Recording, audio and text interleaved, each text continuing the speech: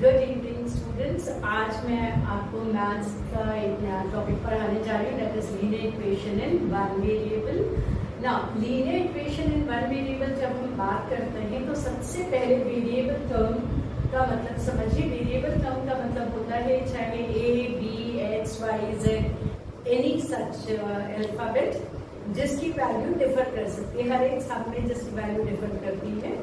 तो हम h की इन सारे सब में h की वैल्यू निकालेंगे और किसी अदर सम्स में you can get it as A B C any variable any alphabet you can get in your sum in linear equation one variable and what you have to find is कि उसका value क्या है।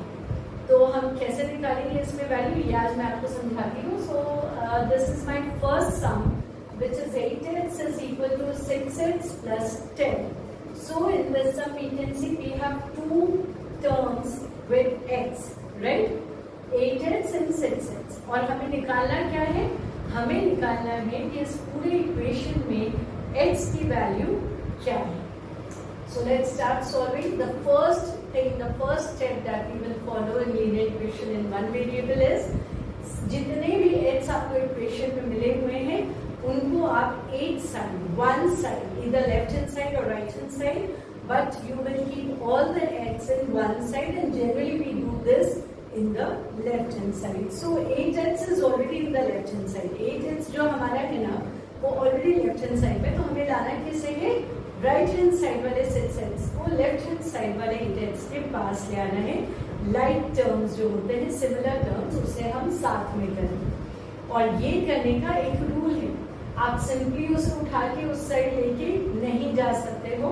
The sign will change if it is positive here it will become negative if it is negative it will become positive अगर वो multiply हो रहा है तो वो साइड जब वो साइड चेंज करेगा, जैसे कि आप अगर राइट हैंड साइड से लेफ़्ट हैंड साइड लेके जा रहे हो, किसी भी नंबर को या किसी भी वेरिएबल को तो अगर वो मल्टीप्लाई हो रहा है तो अगले साइड जाके डिवाइड हो जाएगा। अगर वो डिवाइड हो रहा है तो अगले साइड जाके मल्टीप्लाई हो जाएगा।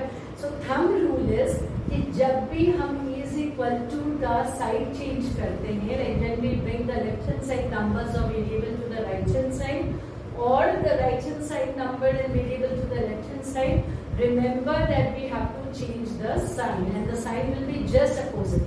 If it is negative, it will become positive. If it is multiplying, it will become divided. So by not wasting any more time, let's start. So we will bring 6x to the left hand side and sign will change.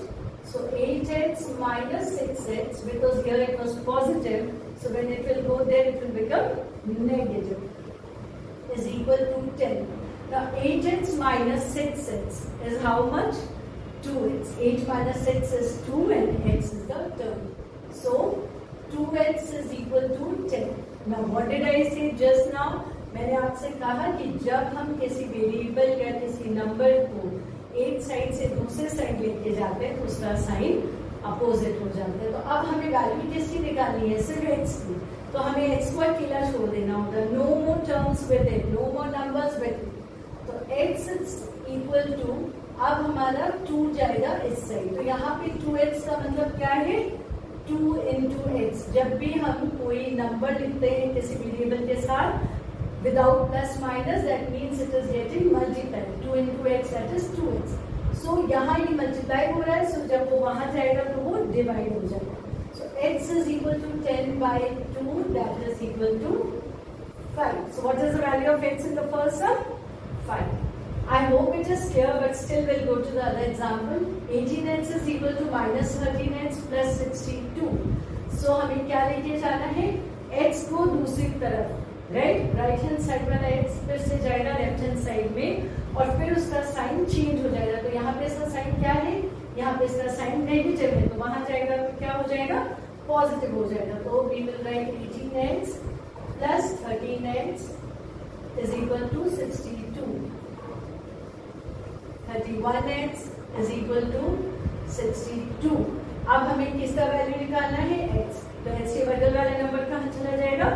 दूसरे side और उसकी sign हो जाएगी opposite तो यहाँ ये multiply हो रहा है वहाँ जाके हो जाएगा divide so x is equal to 62 by 31 which is So here we got the value of x as 2. And the last sum, this is 12, 3 minus x in the bracket is equal to 48.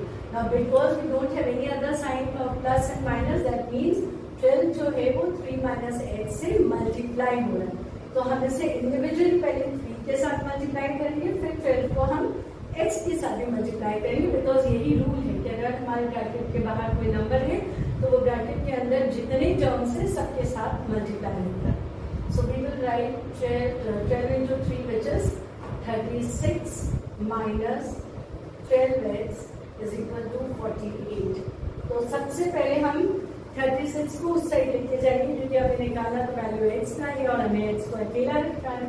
तो minus twelve x is equal to forty eight minus thirty six क्यों minus thirty six क्योंकि यहाँ ये positive था तो उस side गया तो वो नेगेटिव हो गया। Now minus twelve x is equal to twelve So x is equal to 12 divided by 12 which is minus 1.